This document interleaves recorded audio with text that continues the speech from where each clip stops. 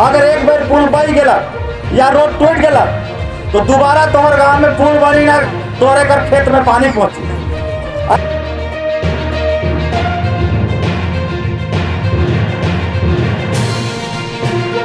और जब तक काम के टोइन भी बंद करवा, तब तक कोई समाधान नहीं। नमस्कार, मैं हूँ दिव्या रानी और आप देख रहे हैं जीएन भारत। झारखंड के गुमला जिला में इन दिनों पुल पुलिया सड़क निर्माण का कार्य बड़े पैमाने पर चल रहा है। जिसमें घोर अनियमितता बढ़ती जा रही है।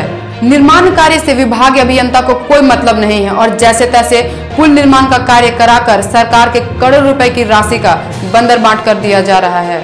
इसी के आक्रोश में आज गुमला ज़िले के बिशुनपुर प्रखंड के समदरी गाँव में ग्रामीणों ने बैठक की। बैठक में समदरी गाँव के आसपास के छह गाँव के 250 ग्रामीण उपस्थित हुए। बैठक कर समदरी गाँव में लगभग सत्तासी लाख की लागत से चल रहे पुलिया निर्माण कार्य का घटिया निर्माण करने का आरोप लगाया। और जब तक काम के टोइन भी बंद करवा तब तक कोई समाधान नहीं। आक्रोशित ग्रामीण बैठक के बाद पुलिया निर्माण स्थल पहुँचे और निर्माण कार्य को बंद करा दिया। ग्रामीणों ने घटिया पुलिया निर्माण कार्य का आरोप संबंधित ठेकेदार पर लगाया। सामाजिक कार्यकर्ता नंदलाल महतो ने निर्माण कार्य में गुणवत्ता की धज्जियाँ उड़ाने का आरोप लगाया और कहा कि इस तरह के निर्माण कार्य से केवल ठेकेदार और इंजीनियर का पेट भर सकता है।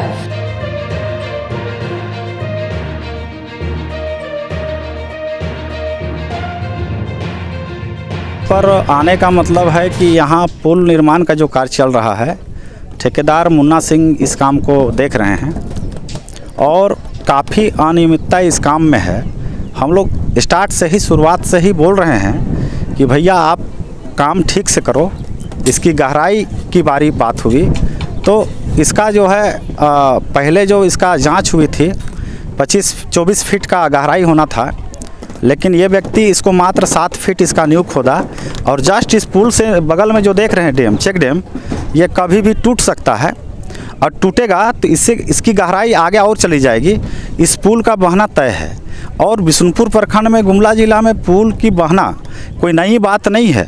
और इसका मुख्य कारण होता है कि घटिया निर्माण सामग्री, घटिया तरीके से निर्माण करना, गहराई में ध्यान नहीं देना, जितने भी विभागीय इंजीनियर हैं, ये सारे लोग पुलिया निर्माण हो या रोड निर्माण हो, इसको गंभीरता पूर्वक ये लोग देख रेख नहीं कर रहे हैं। ये लोग सिर्फ़ अपना कमीशन और उसी भर में सिमट कर रह जा रहे हैं।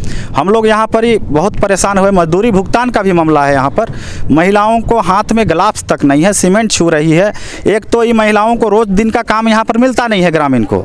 स्थानीय ग्रामीण को रोज़ दिन का काम नहीं मिलता है। सप्ताह में तीन दिन, चार दिन काम मिलता है।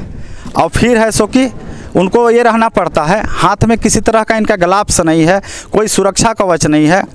तो इसीलिए हम लोग बार बार समझाने के बावजूद वीडियो को भी मैंने खबर दिया है। कई बार बोला, आज भी वीडियो आने वाली थी, लेकिन आई नहीं।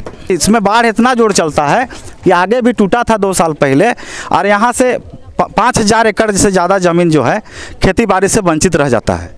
तो इसीलिए पुलिया निर्माण तो यहाँ गड़बड़ हो ही रहा है।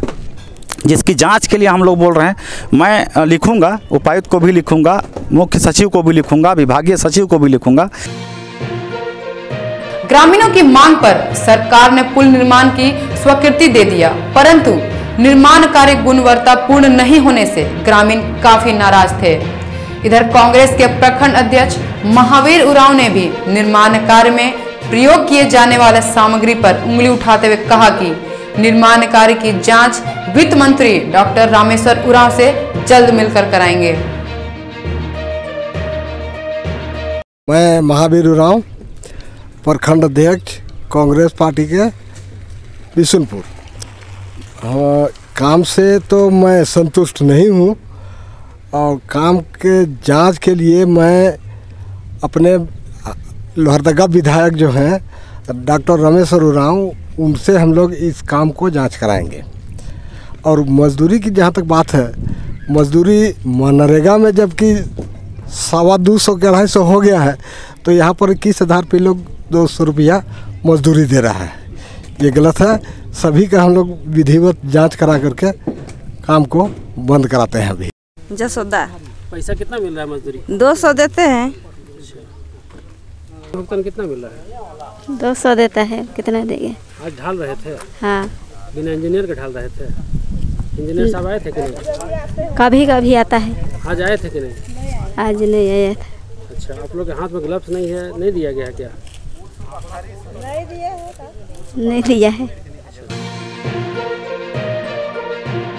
इधर इस संबंधित में पुलिया निर्माण कार्य करा रहे ठेकेदार जितेंद्र सिंह से बात करने पर उन्होंने कहा कि समय समय पर विभाग इंजीनियर कार्यस्थल पहुंचकर निरीक्षण करते रहते हैं। साथ ही निर्माण कार्य गुणवत्ता पूर्वक कराए जाने की बात उन्होंने कही।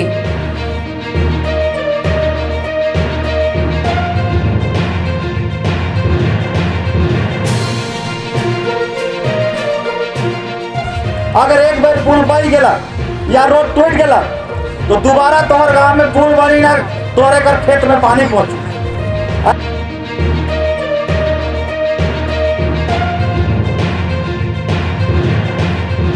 और जब तक काम के टोइन भी बंद करवा, तब तक कोई समाधान नहीं। अगर आपको ये हमारा वीडियो पसंद आया है तो लाइक करें, चैनल को सब्सक्राइब करें और जुड़े रहें जीएन भारत के साथ। धन्यवाद।